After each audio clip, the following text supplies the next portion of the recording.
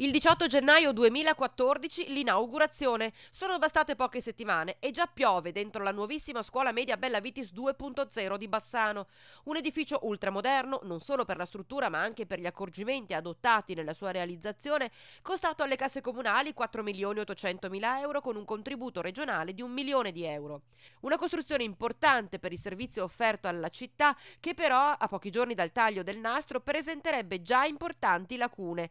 Acqua in alcune aule in palestra a cui pare sia stato addirittura necessario posizionare dei secchi per raccoglierla. È quanto ci hanno segnalato nel fine settimana i genitori di alcuni ragazzini che frequentano la nuovissima struttura, che ci hanno telefonato tenendo un tono tra l'arrabbiato, perché non è possibile che una costruzione così costosa presenti già falle, e il preoccupato per la sicurezza dei propri figli.